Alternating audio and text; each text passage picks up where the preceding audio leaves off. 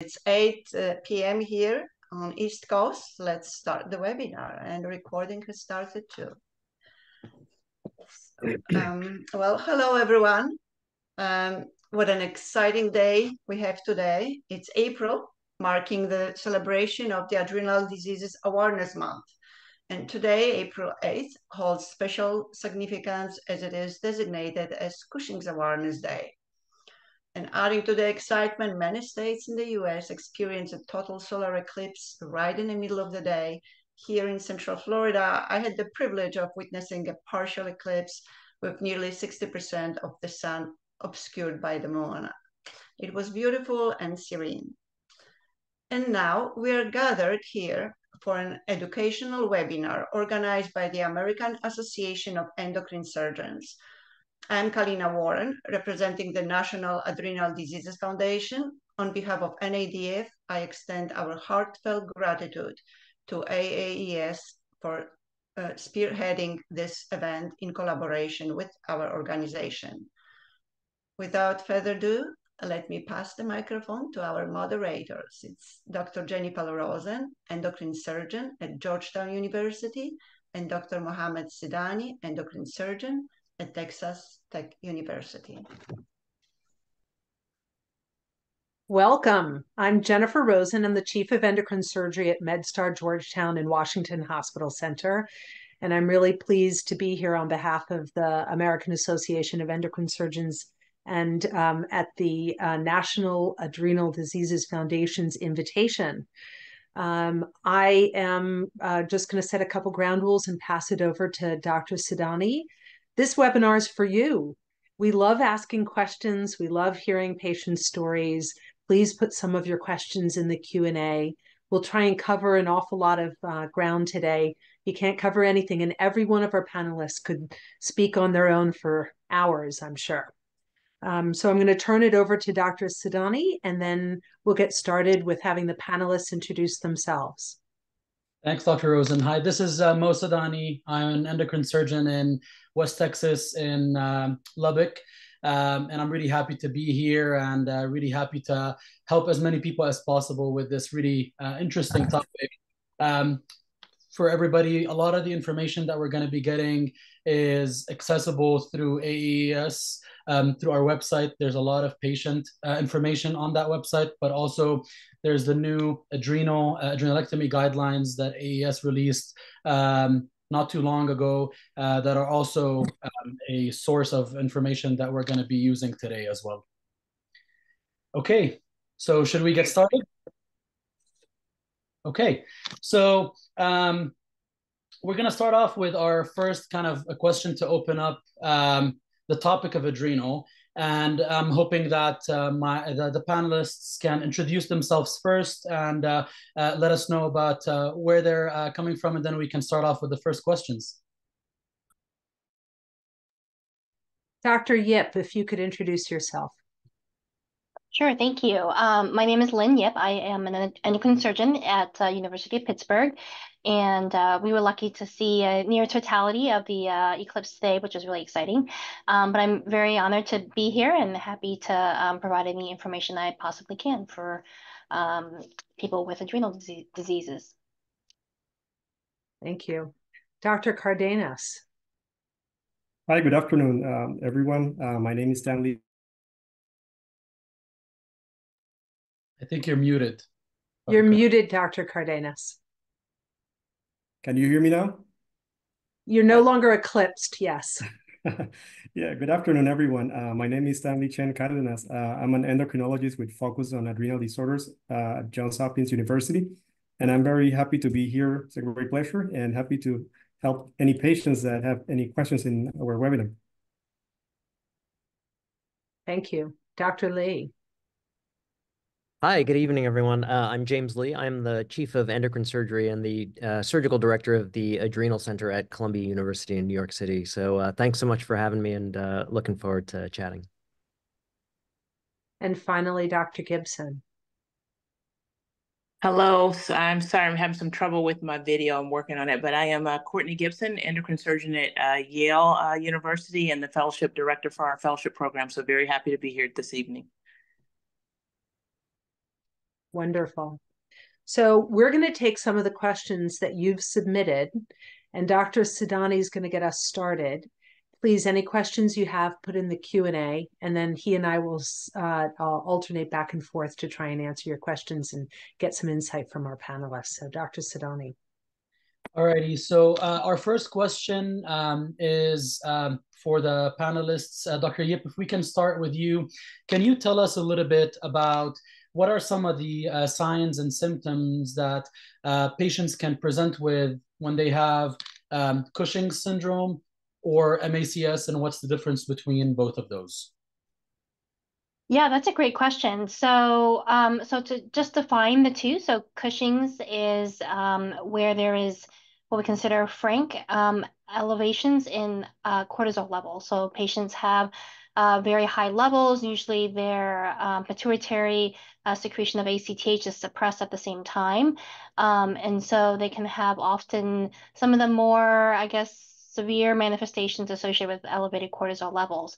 On the other hand, um, MACS or mild autonomous cortisol hypersecretion is, um, as it says, it's more mild. Um, and so it's not always picked up by conventional testing. I think that's the important point is that if you do the normal, like classic 24 hour urine uh, cortisol levels, it's not always picked up on those kind of tests. Or, um, and so we often have to do very highly sensitive tests, such as a one milligram overnight dexamethasone suppression test in order to pick up um, MACS. Um, and so the symptoms um, can vary. So with Cushing's, you see more severe symptoms like um, I guess it, it, really can affect people from head to toe um, in terms of the way they look, the way they feel, um, psychological symptoms, aches, pains, weight gain. I guess I think it. I don't think there's any part of the body that it doesn't sort of affect. Um, so it can be very debilitating and rather uh, profound. Um, and they can also uh, exist for many years before people realize it. I think it's the the symptoms are a little bit insidious, and so they they can build up, and people don't really realize that that's what's going on. Um, so it can be sometimes challenging to diagnose diagnose. Um, with MACS, um, by definition, it should be a bit more mild, and some of the symptoms can be a bit more vague, um, a bit of fatigue, a little bit of achiness. But I think really we start to think about uh, being a bit more aggressive from a from a, a, treatment standpoint when people have things like hypertension, uh, diabetes, um, weight uh, things, uh, sort of, uh, um, and osteoporosis. So things that you would classically consider as part of a metabolic syndrome type of a picture. Thank you. Um, Dr. Chen, can you um, um, tell us a little bit about what are some of the uh, common and maybe a little bit less common signs and symptoms that patient with a pheochromocytoma can have? And just for everybody, pheochromocytoma is an adrenal mass that produces an excess amount of catecholamines like epinephrine, adrenaline, and many of um, hormones similar to that. Uh, if you can tell us a little bit more about that, please. Yeah, that, that's a great question. So pheochromocytoma, as well explained by Dr. Sidani, is, uh, is typically um, excess of adrenaline or these hormones that are, have to do with the, the stress response in addition to, to different from cortisol. And typically, and or classically, we we we describe pheochromocytoma as characterized by headaches, sweating, and diaphoresis or diaphoresis, which is a medical term, and palpitations or tachycardia can be present. However, pheochromocytoma can present in many different ways. And the, these three typical manifestations are not always present, and it depends in multiple multiple reasons. Um, others, su such as hypertension, for instance, can be paroxysmal or can be present for periods of time, and then pressure, blood pressure can become normal or can be sustained. So there's a lot of variabilities in terms of the way pheochromocytoma can present. And mm, often there are no symptoms and often we're uh, diagnosing pheochromocytoma just based on an imaging, a CAT scan that was done for a different reason. And that's how we catch actually a mass that looks like a pheochromocytoma. So other very non non-specific symptoms can be weakness or panic attacks or anxiety. And um, people, it takes time for people to realize that this could be a, it could be symptoms or manifestations of pheochromocytomas. There are also um, metabolic components of pheochromocytoma. New onset of diabetes, it's something that we, we can see in patients with pheochromocytoma. Um, dyslipidemia in some patients can be seen as well. So it can be highly variable, but um, headaches, sweating and tachycardia is a typical uh, textbook kind of uh, triad that that we uh, usually tell, and also depends on different uh, kind of um, hormones that are produced or different underlying mutations that are associated with this uh, syndrome. Thank you. Um, Dr. Lee, can you um, uh, tell us a little bit about what are some of the common presentations of a patient who's uh, experiencing or uh, going through primary hyperaldosteronism, which essentially is an adrenal mass that's producing an excessive amount of aldosterone? Yeah, thanks uh, for that uh, question. So yeah, great question. So, you know, just going from, I guess, less common to the more common presentation. So um, you know, certainly hypokalemia, low potassium levels uh, in the setting of high blood pressure can trigger uh, an astute clinician to kind of pick up on the fact that someone might have an aldosterone-producing tumor because um, you can get pretty profound hypokalemia, low potassium levels. As uh, Dr. Cardenas uh, mentioned, um, sometimes you only find patients uh, or discover that patient has a aldosterone producing tumor um, because of an incidental finding on another imaging test like a CT or an MRI. That's a in, adrenal incidentaloma. Uh, far and away, the most common way that we um, find patients to have uh, aldosterone producing tumors is um, a history of high blood pressure and usually uh, high blood pressure that's very difficult to control. Um, and so um, there are lots of uh, high blood pressure related um, uh, scenarios that should trigger an evaluation for um, hyperaldosteronism. So certainly if someone has a very high, what we call resistant hypertension, you know, above 150 or over 100 uh, consistently, um, people who are on uh, multiple uh, greater than three um, antihypertensive or blood pressure medica lowering medications um, and still having difficulty controlling their blood pressure. Um, uh, patients certainly with low potassium levels, uh, and uh, interesting patients who have had um, a strong family history of early uh, strokes or heart attacks, uh, you know, younger than 40 might be a, a indicator. And then certainly patients who have um, first degree relatives or family members who have a history of primary hyperaldosteronism, because there are some unusual or uncommon inherited forms of aldosteronism. Um, and Dr. Lee, just to uh, ask you one more question. So, can you comment a little bit about um, the potential role for screening for hyperaldosteronism in patients that have both hypertension and sleep apnea a little bit? Yeah, so I mean, there's some emerging data to say that um, patients who have periods where um, they stop breathing during um, uh, during sleep, uh, called sleep apnea, um, there may be an association between high blood um, hyperaldosteronism and sleep apnea, and so that also is a, a, good indication that someone needs to be screened if they have uh, high blood pressure and um, sleep apnea.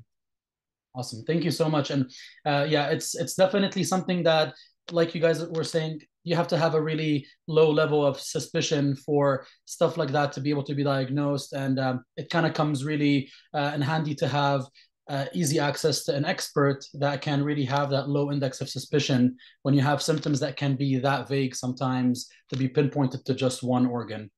Okay, um, I'll turn it back to, to Dr. Rosen for the rest of this conversation for now. Great. Well, thank you for that introduction. I've been moderating some Q&A and I'm starting to see some questions we're going to try and get to later specifically around Addison's and postoperative issues. But before we move on to that, Dr. Gibson, um, a couple of questions about um, can you have co-secretion? Can people's tumors make more than one hormone? And then this is going to get to our next major question, which is how do you know and how do you work up patients with adrenal tumors? Uh, that is a very uh, good question, and uh, it's a complex workup, so it really needs to be in the hands of uh, an experienced uh, physician who's uh, comfortable with working up adrenal tumors. The adrenal gland secretes so many different hormones, and so any given hormone can be secreted in excess. And also, some of the hormone secretion happens in a kind of diurnal phase or, or manner. So the timing of testing is important as well. But to answer your first question, yes, uh, you can uh, you can have co-secretion or secretion of more than one hormone in excess. Whenever that does happen, that always raises our concern that maybe there is a primary uh, cancer of the adrenal uh, going on called an adrenal cortical carcinoma. Those are usually very large tumors with local invasion. Where I believe we're going to discuss that further, a little bit uh, further in, into the discussion. But whenever there's more than one hormone being oversecreted, uh, that always should raise some alarms that there could be an adrenocortical carcinoma that's present. Typically, um, if you have something like hypercortisolism, you just have cortisol excess. If you have primary uh, aldosteronism, the aldosterone levels are solely elevated. But can you have um, some cross reactivity or some co-secretion? I'm sorry, is a better term. Yes, you can. Um, there are many different tests that you that patients have to undergo. So just checking a blood or serum level of a hormone like aldosterone or cortisol, that's kind of step one. It's a uh, kind of test to check for some sensitivity to see is there potentially some oversecretion, but then you're going to need to follow that up with some confirmatory testing. Um, and that can involve urine testing, uh, salivary testing, depending on what hormones you're looking after. Also, it matters what, what medications patients are taking because that can uh, impact the uh, results of testing and can sway it either to a false negative or a false positive. So it can become very complex. Uh, and so that's why it's very important to have that hormonal workup done in the hands of an experienced clinician. Thank you. Um, it certainly sounds complex. Um, and I, I think that's one of the highlights of what we're getting at here is often people will come to us having partial or incomplete evaluation. Patients can be very frustrated at how long it can take to work up um, and be absolutely certain that they've got the right diagnosis. Um, Dr. Yip, following up on uh, what you were talking about earlier with regards to Cushing syndrome, can you tell us a little bit about some key points in being certain somebody has Cushing syndrome and how we work them up? Um, so we usually start with um, some baseline blood work. Um, so typically when I see patients, they often are sent to see us with a known adrenal mass. So obviously our beginning uh, point is a little bit different than perhaps when patients go to see Dr. Cardenas. Um, and so I think when we know that there's an, an adrenal mass and our, our primary concern is whether this adrenal is potentially secreting extra hormone, the first thing that I do is to look at the imaging, make sure that the other adrenal looks okay. And I think that can really often be very helpful to sort out if I'm looking for something that's affecting um, just one adrenal versus potentially something that's affecting both. Um, and then often get some baseline blood work, um, such as uh, electrolytes, uh, make sure kidney function is okay, um, make sure that the pituitary axis is okay, uh, usually with an ACTH. And then I usually will go directly uh, and the DHEAS as well. Um, and then often we'll go next to a one milligram overnight dexamethasone suppression.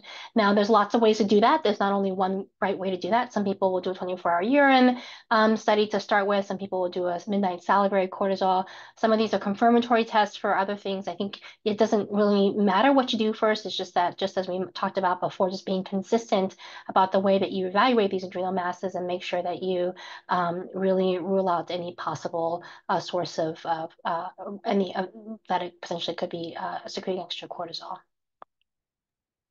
And it leads into what's going to be a question later on about the complexity of managing people after surgery for Cushing's syndrome. So, yeah. Um, I'm going to skip Dr. Cardenas for just one minute because we got plenty of questions for you a little bit later on. Dr. Lee, tell us a little bit more about the evaluation of patients who we think have primary aldosteronism. Yeah, so um, you know, I think as the other panelists were alluding to, um, when you are dealing with uh, hormonal diseases, um, the key thing is to never just go on one value. So you know, there's oftentimes value in repeating um, tests just to make sure that you truly do have a biochemical diagnosis. Um, uh, and so when we say patients who might have hyperaldosteronism, you know, the first thing that we do is, um, you know, after we do a thorough history and physical exam, we um, look at some blood levels. So um, the aldosterone level should be high. Usually you want to see uh, the aldosterone level, you know, above 15 or 20, depending on the lab that's doing the assays. But more importantly, uh, the renin level should be suppressed. So it should be below uh, the um, the normal uh, lower end of the uh, normal range uh, and uh, oftentimes uh, at the uh, uh, lowest detection levels in the lab. Um, so once you have seen uh, a patient who has a high aldosterone, low or suppressed renin level, um, there's some question as to whether or not you need to do confirmatory testing or um, provocative testing, so what they call saline loading or salt loading tests, where you give patients a salt load and then recheck the levels. Um, you know, frankly, if you look at uh, most people in America with a 24-hour urine, um, uh, excuse me, 24-hour urine iodine, uh, oftentimes we are at baseline uh, salt suppressed. So um, uh, oftentimes we actually don't even need to do that test. Um, but uh, you know, the mainstay of the of the diagnosis is aldosterone and renin. So, um, is there a situation, Dr. Lee, in which patients have overproduction from both sides of aldosterone, but we still are thinking about surgery in them, or where somebody had a failed first operation and still has persistence? Yeah, no, it's a great question. So um, once you've made a diagnosis of hyperaldosteronism, the next task is to figure out if uh, it's one adrenal gland or both adrenal glands that are making um, too much aldosterone. And um, that's usually lumped into the category of unilateral versus bilateral. Uh, unilateral is one side, bilateral is both sides. So um, typically once we've made that diagnosis, um, you know, we look at the imaging tests and oftentimes patients will have a very clear um, adenoma or nodule in the adrenal gland that makes us suspicious that they have um, hyperaldosteronism being caused uh, by one-sided uh, adrenal disease. But what we know is that if you use the imaging tests um, alone to guide your uh, decision on which uh, therapy to pursue, medical versus surgical, that uh, you're going to be wrong about 20% of the time. So um, uh, typically, once we have made the diagnosis and we've seen the imaging, we'll send patients for what we call adrenal venous sampling, which is when we, uh, our uh, colleagues take a catheter, put it right into the veins that drain the adrenal glands, and we measure the aldosterone and the cortisol levels from both sides to try and figure out um, which side truly is hypersecreting. Thank you. These are great questions. I'm going to turn it back over to Dr. Sidani. All right. Um, Thank you so much. So um, one of the most popular uh, questions uh, that we uh, that we got from uh, everybody um, was, what would be the best way for a patient to find and reach a physician, and what would be the best way to communicate with them effectively what is happening um, to be able to kind of get the the best help possible. Um, so I would like to, to open it up to uh, Dr. Yip to kind of uh, share with us what are some of the uh, strategies patients can find experts in the field, both in the uh, for, as endocrine surgeons and for endocrinologists. Um, and Dr. Chen can also chime in um, to be able to provide that help as adequately as possible. Yeah, so um, so from an endocrine surgery standpoint, the AAES does have a surgeon finder on their website, so that's one way to find an endocrine surgeon. Um, I think you know, we have a little bit of a unique perspective in that we um, are uh, trained to evaluate uh, hormonal abnormalities in addition to operate on them. And so it's uh, it's a little bit of a different specialty. Um, obviously, we're not uh, we're not perfect, and so we rely on people like Dr. Cardenas to help us, of course, um, if there's uh, things that are that are not straightforward. Um, but uh, that's one way. The other way, of course, is to talk to your primary care physician or talk to friends and see what kind of doctors um, they have had that they uh, uh, that they um, have had a good rapport with, or who have seemed like they've been um, responsive, and that's another way to to potentially find another physician.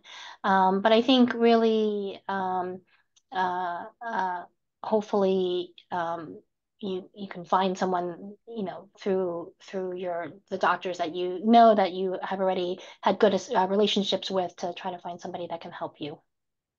And um, uh, the AES um, Surgeons Finder actually uh, uh, helps you find somebody within your location um, as well. So it kind of um, helps you narrow down whether somebody within your close vicinity has those expertise or if some, something has to be um, found elsewhere. Um, and uh, Dr. Cardenas, can you tell us a little bit what would be the best way to patients uh, find help from a, an adrenal specific or an adrenal expert endocrinologist?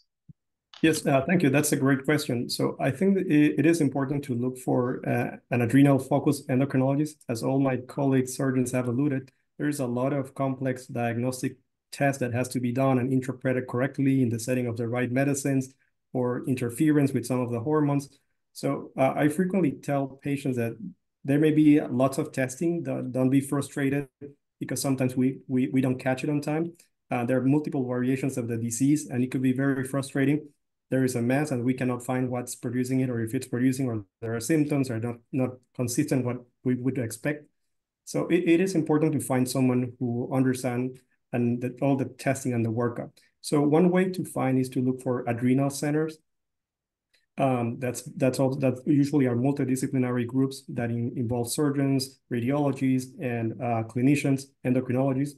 So those are good places to to go, and um, through their primary care physician or their general endocrinologist, they can reach out to these uh, centers or directly. Many of the centers can be directly reached by by patients. Um, Dr. Lee, uh, from your uh, interactions with patients over the years, have you uh, found a, a, way that um, uh, patients can um, kind of filter through these uh, many symptoms that can happen and try to maybe put them uh, in a in a fashion that would be easy to present or I guess effective to present so that we can provide the best help we can, whether that is by writing them down or maybe structuring them in a specific way? Yeah. Uh, I mean, I think it's a great question. So, you know, I, uh, you know, talking about resources available to patients. So, you know, there's some very high quality resources. So, for example, the American Association of Endocrine Surgeons um, has a patient uh, education website where you can uh, do some research about all of the different diseases that uh, may affect the adrenal glands.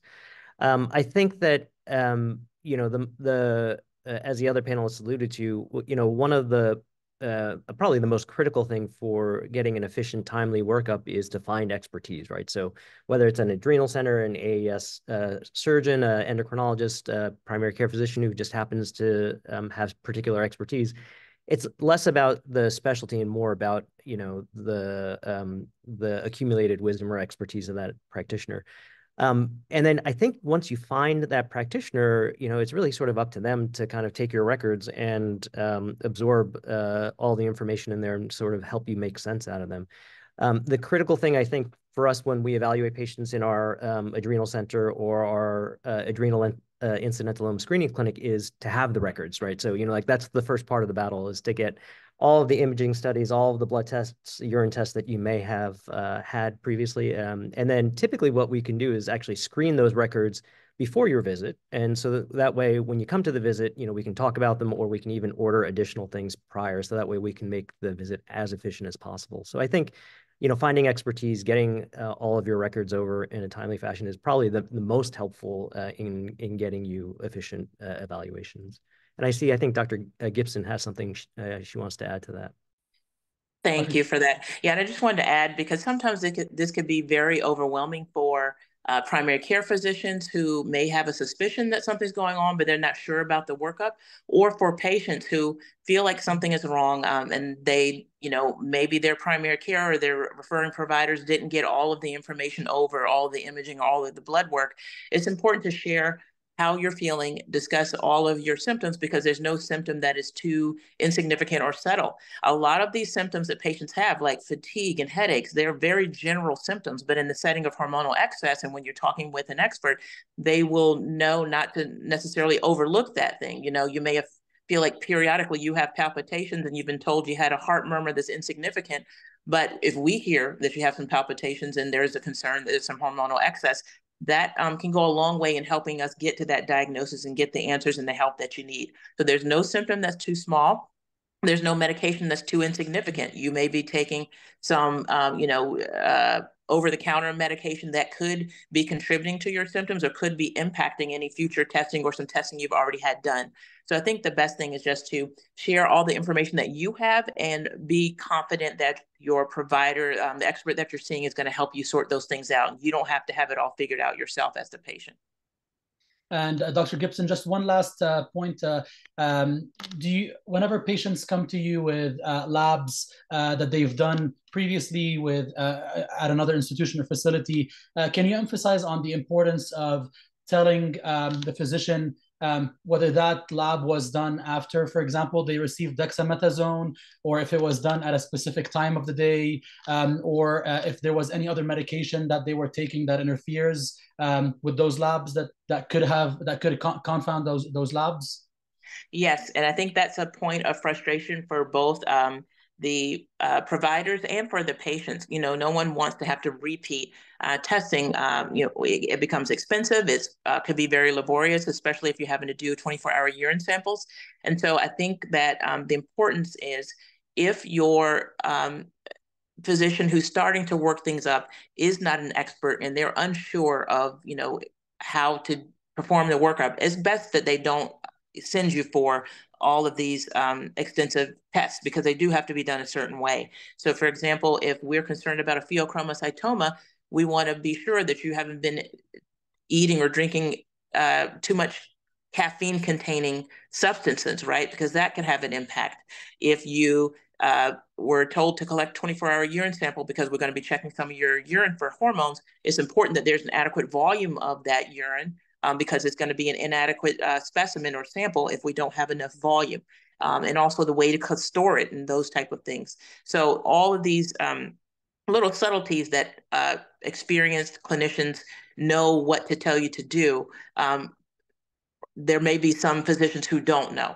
Um, and so I think it's best if I receive lab work one, I can tell when there's someone who's experienced who's done it because usually they have some sort of commentary in their notes that how this was done. You know, we confirmed that dexamethasone was given the night before because we checked the, the levels along with the cortisol the following morning, or we advised the patient to abstain from X, Y, and Z or these medications and, and plan for getting this testing done.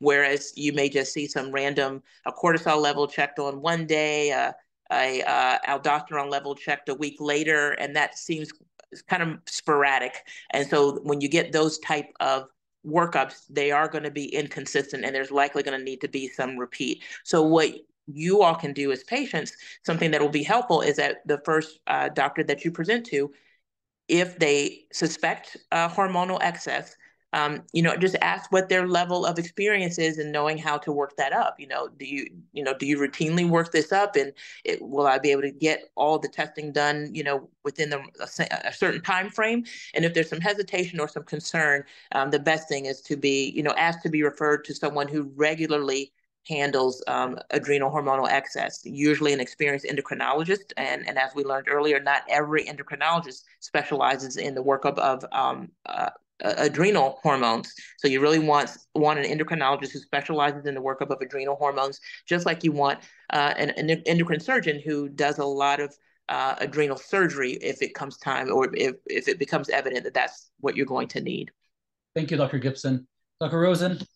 Great. So one of the things I'm hearing from a lot of the panelists, and one of the things that's really important for the patients to hear is you're also in charge of your own health. You need to keep notes. You need to know what you had done, what medications you're on, what non prescribed uh, um, herbs or supplements you're using. Keep a diary, keep your information down, know every test that you've had done when it was done. Um, and now we're going to get into a really interesting area uh, of questions. Many questions on the chat around this. Um, so let's say you've had your adrenal surgery for Cushing's and now you're adrenally insufficient. Let's talk about what's really an art, not a science necessarily, but the art of understanding how to manage patients after surgery. And um, I'm going to ask Dr. Cardenas to tell me a little bit about right after surgery. How do we think about supplementing patients who have had surgery for Cushing syndrome? Great topic. Um, and as you said, it's it's it's a, been a little bit of an art, and it, it's two different. I would say there are two different groups, and what we should understand is that the degree of cortisol elevation prior to surgery and the duration will determine how long the HPA axis, meaning the pituitary and the hypothalamus, would remain suppressed after the procedure. So in many patients, they have a very fast recovery period and they many of them transiently for just few days or weeks would require glucocorticoid replacement, but some others, it would be a long period of months and in some years, and it could be very frustrating. So the first thing that I like to do this with patients is to set expectations. So before things get better in overt Cushing, things are gonna get worse. So they're gonna feel very fatigued, very, very tired.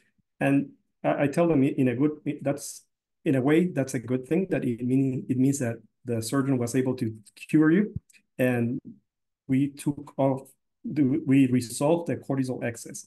And then um, as your own systems start to take over, you're going to feel better. But during that period of time, we would like to avoid as much as possible those symptoms. And what we do is to treat them with steroids.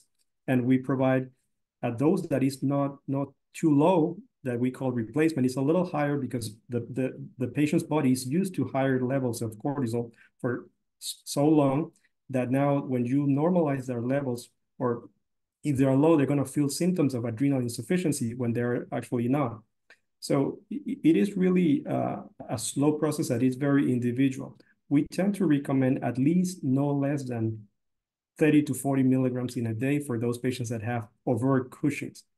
In those that have a mild autonomous cortisol excess, it's we tend to offer replacement dose for those that uh, do not have a strong enough cortisol level after the procedure. And then over the following weeks, three these three to four weeks, we can reassess the HB axis, checking a morning blood test, cortisol, and we decide if we need to decrease the dose or even stop the, the medicine.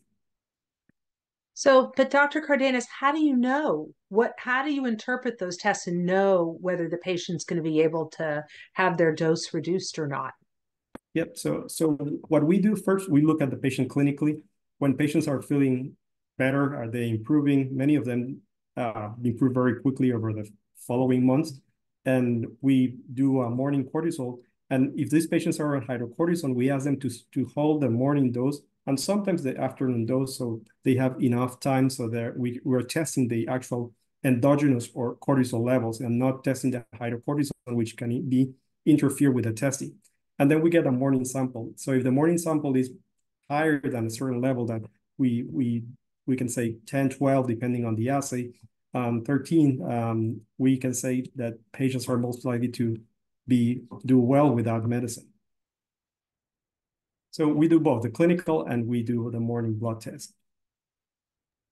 Dr. Yip, you're shaking your head, yes. So tell us a little bit about how you manage the patients and um, who are, are post-opera um, from, let's just start with the unilateral, one adrenal gland removed.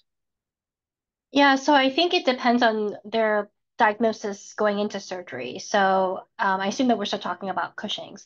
Um, if they had um, MACS, MACS, then um, about 60% of those patients um, may uh, do fine without needing replacement. And so I think it's important to check them in the morning after the surgery. Um, it's important for us to tell uh, anesthesia loves to give steroids during surgery, so we have to really make sure they don't give it during the procedure and then be able to check some provocative testing in the morning to make sure that everything um, is working okay. If it's not, then um, we uh, put them on steroids. Um, for patients who have frank Cushing's, um, they will need steroids. Um, and so we usually will start them uh, right away after the operation. Um, but generally, I think it's um, it, it's absolutely, I completely agree. It's an art. Um, and I think patients who have Cushing's, it can be very challenging. They've been they've been dependent on high doses of steroids for a very long time, and so what we give one person may not be enough for another person. And so I think it really is important. Um, just we've talked about it before, but to really be let your doctors know what you're feeling, how how if it's different, if it's not not enough. You have to be uh, feel comfortable talking to your doctors to let them know that uh, whether or not you you think that it's not the right amount of medication. So. Dr. Lee, a follow up for that. Is it possible to have the numbers look good, but you don't feel well as a patient? And how do you, as a doctor, manage that and reconcile that? Yeah, I mean that's a great question. Um, so uh, the short answer is yes. I mean, so you know, we sort of use um, sort of the blood tests uh, as a um, sort of a screening tool. Uh, you know, as sort of like the first pass of it. But um, you know, I think as Dr. Yip was saying, you know, you uh, for our patients, you know, you have to be your best advocate. So you know, just because the numbers look okay, um, if you're not feeling right, uh, that doesn't necessarily mean that everything. Is, I mean, that typically indicates that there's something maybe uh, a little bit more to the story you know, fortunately, we have uh, experts like Dr. Cardenas uh, at our center, uh, Adrenal Center at Columbia. So uh, typically, if it um, uh, seems like a more challenging case, we get our multidisciplinary team uh, on board. So not just the surgeons um, involved, but really our endocrinologists who have a wealth of experience, um, you know, with um, with the follow-up care for these patients. So. And I'll follow that with a question for Dr. Gibson, which is not all patients are going to be able to travel far enough to see somebody at a real adrenal center where they have expertise what advice would you give for patients who have had surgery and are now really struggling to manage locally um, uh, with their their postoperative care? Um, yeah, that is a bit difficult, um, and so you know there are if so um, just to clarify the question so someone who has traveled remotely to have their adrenal surgery and then they don't have a local uh, person to manage or they had their surgery done I, am not clear on whether or not they had their surgery done locally, but they're just really struggling trying to find either an endocrinologist who can help manage, or maybe oh. they're just too remote for too remote for someone who's really got a, a large adrenal center. What can they do? Yes. So um, I think we've talked about this a, a couple times uh, before about some online resources. So sometimes even if you can't travel, um, there's uh, there's a patient uh, section on our AAES website where you can get the contact information or your doctor can get that contact information to uh, reach out to an expert to get some guidance on um, you know helping patients who are having some symptoms either pre or post operatively so um, you know we all are very open to um, you know, sharing information, helping out uh, physicians uh, and clinicians who may not uh, see a lot of adrenal uh, disease and, and, and know the workup or know the postoperative things to look out for. But we are more than happy to uh, share that expertise. You know, um, oftentimes I think a common thing that happens uh, that is very important is that some patients who had Cushing's and had their surgery, no matter sometimes they don't recognize the importance that of taking their hormone, their steroid hormone after the surgery, right? And you know, some may say, "Oh, I'll get it filled in a few days once I get home. I'm just so glad to have the you know the surgery done and this is taken care of." But steroids, although in excess can be detrimental to our health, we need them um, for our health. And so if we are stressed, if you get in a car accident, if you get a cold over the weekend and you don't have enough steroids in your system, that can become an emergency uh, and it can become very life threatening. So just having that knowledge of information, there's patient information sheets on the websites. There are uh, numbers to call where you can reach out and speak to, um, uh, get get a hold of a specialist to kind of get some guidance on that on those uh, situations when it's very difficult. And I, I think the part that you said that really resonates for me is, you know, often surgeons and physicians, we talk to each other all the time. If mm-hmm. you've got a local endocrinologist who wants us to help them gain information and knowledge, just have them reach out to somebody. Um, where I we provide counseling for other doctors and physicians and how to do the workup all the time. I think that's great. Even if you as a, a patient can't, we should be helping your physician. Dr. Cardenas had an additional point. Dr. Cardenas. Yes, thank you. I just want to make a comment. In a patient in that situation, most endocrinologists will be able to help a patient, even if, if it's not part of an adrenal center, they should reach out their local endocrinologist. And if some, most of us, when we need help from a colleague that knows more than us, uh, we will reach out to another colleague. But reaching a local endocrinologist would be the right thing to do. And the other comment that I wanted to make is that um, sometimes I see that we it's important to give enough hydrocortisone to patients in that transition phase between the, sur the surgery and the follow-up, because sometimes, un unfrequent, uh, unfortunately, not infrequently, uh, I see just a small amount of hydrocortisone, and sometimes patients require extra in between that period of time, and and, and that's a little uh, risky. So so having make sure that you get enough hydrocortisone in that period of time. I'm going to turn it over to Dr. Sidani. Uh, we had lots of questions about um, Addison's and adrenal insufficiency long term, but I'll let Dr. Sidani take over. Um, yeah, so uh, definitely uh, the, the bulk of our questions are about Addison's uh, disease. Uh, so, um, Dr. Cardenas, can you uh, tell us um, a little bit more about what is um, what are the more most common symptoms of adrenal insufficiency that can happen after an adrenal is removed? Um, and what would be the way somebody would notice, like, if there's a difference in symptoms or presentation when somebody is on not enough steroids and somebody that is on, uh, let's say, too much steroids and are having the opposite effect um, of that. Some people end up having cushingoid or Cushing like symptoms just because of the excess of that. So sometimes people wonder if the disease is coming back, but maybe it's because it's medication induced. Can you please comment on that for us? Yeah, good question. So adrenal insufficiency uh, symptoms can be very vague and non-specific from fatigue, tiredness, uh, from um, lack of appetite, um, can be simply a, a, little bit of nausea, and um, that sometimes don't trigger the patients to to to look for help.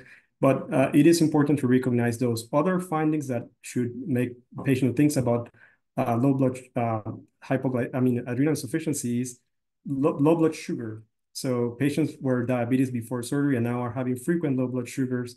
Um, that's also some some something that should trigger the need for to look for for some help. Very low blood pressure, and as as the as the adrenal insufficiency continues, um, that can be more pronounced. So so those are important uh, findings um, abdominal pain, nausea, vomiting, nah, that's when they are going into a crisis. That's also something to, to keep in mind.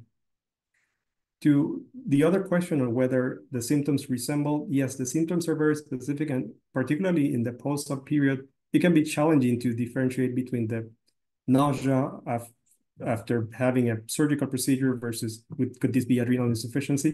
And I think the only way is to have a high index of suspicious some patients get a procedure and they get these non-specific symptoms. It's important to to to us to to recognize them. Um, the other um, part of the question is too much cortisol and too much hydrocortisone or too much medication. Yes, definitely will resemble um, Cushing's from before the procedure, from endogenous Cushing's, and it can be associated with uh, hypertension, high blood pressure, weight gain, weight regaining weight, um, sometimes it's fluid retention. Um, what else? That sometimes high blood sugar can be also another complication. So all those things can can can trigger patients or physicians to say, well, maybe you're getting too much of the hydrocortisone, and perhaps it's it's time to decrease it. So anyone who's more than 20 milligrams a day, we should think that uh, we want to lower that uh, sooner sooner as possible, soon as possible. Yeah, I was about to ask you if there's kind of like a cutoff that you would uh, consider. Uh, some of the questions that we have in the in the the chat. Um, some people that are on cortisone or hydrocortisone after surgery, or let's say in the setting of uh, adrenal insufficiency, um, they've been told by some physicians that they cannot be tested for their ability to produce uh, cortisol themselves while they're on our while they're on prednisone or hydrocortisone. Um, do you have a way that uh, you can advise these patients on um, how they can get tested to see if they have any endogenous production themselves?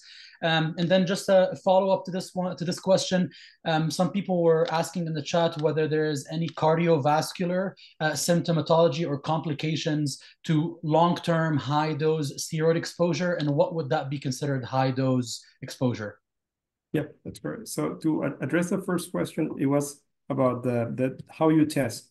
So um, in hydrocortisone is a short acting uh, glucocorticoid, which which is an advantage because um, it allows your pituitary and hypothalamic system to recover and because you have a period of non-exposure.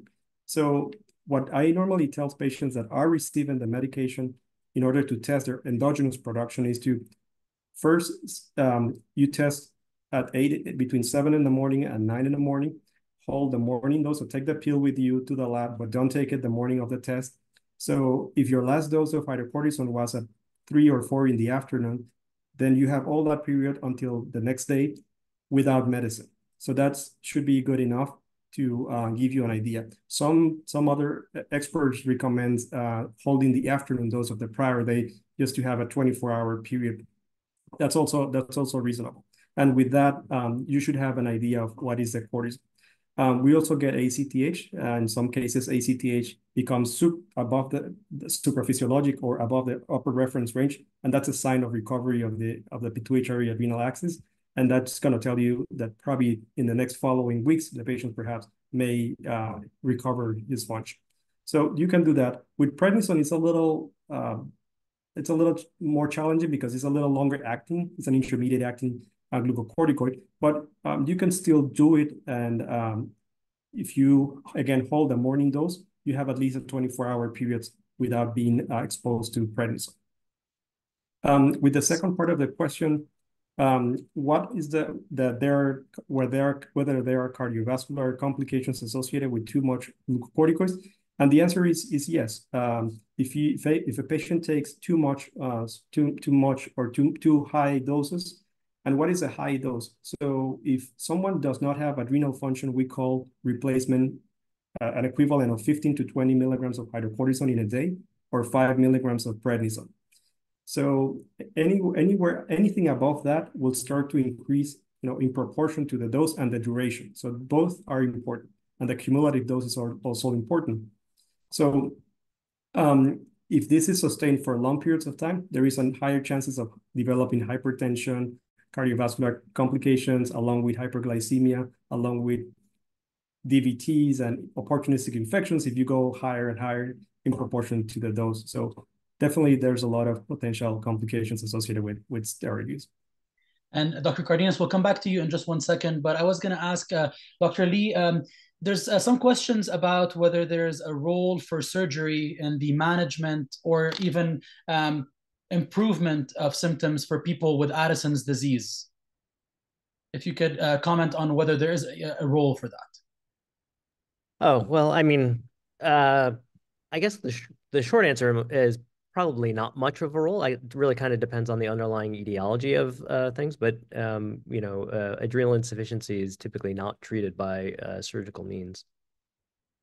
Um, and um, Dr. Cardenas, I'll come back to you. Um, one of the biggest things that we've uh, uh, that uh, we're getting questions about is there a way to prevent adrenal insufficiency, um, and are there supplements that are not necessarily steroid based that can help improve symptomatology such as brain fog and fatigue um, that, that, that people can take? The short answer is not that I'm aware of. And um, many supplements contain some amount of steroids. And if patients stop taking those, they can have they can have their HP axis suppressed. So I won't I won't recommend having those supplementation um, as part of their daily all right, Dr. Rosen, I'll turn it back to you. Great. Well, um, we only have a couple minutes left and we have so much to cover. You can see that just one webinar, there's just no way to be able to get all of these questions, these great questions answered. Um, we're going to have a few um, final questions and then we'd always love to come back and um, be your guests again to try and answer some more of these questions. I'm going to do one final round and go around and ask a few questions here. So, Dr. Yip, for patients who have mild autonomous cortisol excess, but aren't thought to have florid, clear Cushing syndrome yet, how do doctors know when it's time to recommend surgery for them? Yeah, it's it's a tough um, decision, and so something that I always it's shared decision making, and so I talk to the patient, to really get a nice uh, picture of of what's bothering them um, and what truly uh, why they're there, what kind of symptoms are they having, um, what sorts of comorbidities do they have? What are, they, are they having difficulty managing their blood pressure? Is their diabetes difficult to control? Do they have osteoporosis or is it a little bit of everything? And then they also look at um, sort of their overall health. Are they good candidates for surgery? Are they gonna are they going to be able to um, go through it with minimal uh, complications? And so I think we take all those into account and talk to the patient and give them the pluses and minuses. I think part of the um, issue with MACS is that there's a paucity of data. We just we need more information. We we know that people do better, but what exactly gets better? Who are the people that really improve? I think there's still a lot of questions. And certainly um, the other thing is the quality of life. So comparing pre and post and dealing with all these issues that we were talking about with post-operative um, Addison's disease and uh, adrenal insufficiency and a little like cortisol insufficiency, I guess you would also sort of call it. And how does that impact with um, ultimately quality of life? And so I think there's a lot of questions we still don't, uh, we still need to answer. Thank you. Dr. Gibson, um, when you're talking with a patient before surgery, and then you think about how you manage them after surgery, what's something how could we be helping patients more in their decision making particularly patients who are looking at potentially having to have a bilateral adrenalectomy or more adrenal surgery in the future? What do you think are are important things for people to know? Um, i think that's a, a great question. So it is a very big decision for the uh, surgeon uh, the, and the patient to make when you're going to plan for a bilateral uh, adrenalectomy because you are subjecting that patient to lifelong supplementation of some sort. Um, if you do not have either adrenal gland, you're going to need some lifelong supplementation. So I, I always try and stress that fact. And just like with any surgical decision making, we always have to measure the risks and benefits to the patient.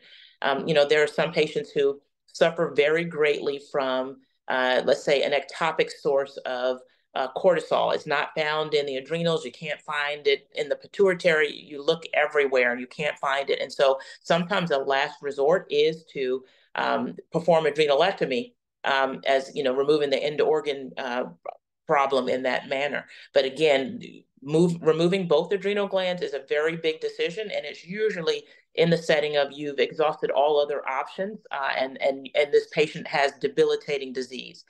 We all suffer from fatigue, you know, weight gain. You know, some of us have some hypertension that's a little difficult to control, but in the grand scheme of things, subtle uh, symptoms like that, to me, in my opinion, is not worth performing a bilateral adrenalectomy in.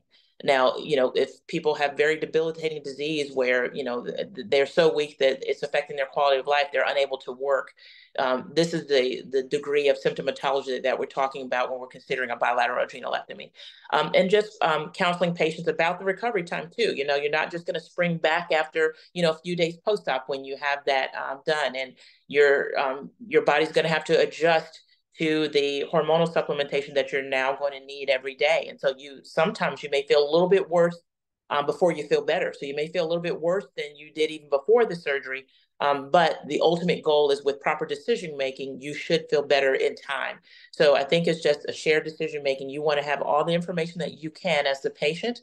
And so you want to have an experienced clinician helping you to make those decisions and also discussing what potential benefit, you know, is this going to significantly impact your, let's say, hypertension or your fatigue or your muscle weakness? Um, or is it going to maybe improve your blood glucose levels, but maybe it's not something that you feel so so strongly? So those are important questions you want to ask. How am I going to feel after both of my adrenal glands are gone, and for how long? And am I going to feel better in time? So those are some important questions. And also, how many times have you performed a bilateral adrenalectomy and what are those outcomes? How have patients done over time? Do people regret, regret having undergone that? So those are all, and you're not um, insulting your surgeon or your endocrinologist by asking those questions. Those are perfectly reasonable and appropriate questions that you should be asking. That's great. That's a really thorough answer for something that patients are facing. Just a couple minutes left. Dr. Lee, any last thoughts for our um, participants? No, I mean, I think this has been uh, a fantastic uh, session. So thank you all uh, uh, uh for organizing this. I think, you know, uh, again, just to reiterate, probably the most important take home points is that number one, there are resources out there. Um, you know, the patient education website um, for the AAES and, um, you know, Endo Society has some really good information out there as well. Um, if you think you have adrenal disease or have been diagnosed with adrenal disease, find expertise um, you know, the patient, uh, excuse me, the surgeon finder can help you find local expertise, but, um, you know, your docs uh, at home should uh, have a good handle on, you know, uh, where to help you find some of that expertise. Uh, and, um, you know, sort of as Dr. Cardenas was alluding to, um, our endocrinology colleagues are sort of the, the front line. They are the, um, the best uh, uh, resource for um, you know especially the very tough uh, difficult questions so uh, i think seek out that expertise um, I really like how everyone tonight and many of their answers and Dr. Sidani also, um, it's clear surgeons, endocrinologists, we all think so carefully about our patients before surgery, after surgery, the long-term consequences of what it is that we do. It's it's really a lot that we think about. So um, I'm going to have to cut us short as we wrap up and turn it over to the NADF. And I really want to thank my co-moderator, Dr. Sidani, Dr. Lee, Dr. Cardenas, Dr. Yip, Dr. Gibson, all for your time and for you hosting us tonight. Well, thank you, Dr. Rosen. Thank you to all participants uh, for your time, for your knowledge that you are willing to share uh, this evening with patients. And address our questions and concerns. We greatly appreciate that. And I took a note that you mentioned that maybe another webinar is needed since there is so many questions. So I might be reaching out to you again. Thank you so much again and good night, everyone. Good night. Thank you for having us. Thank you. Bye. Thank you.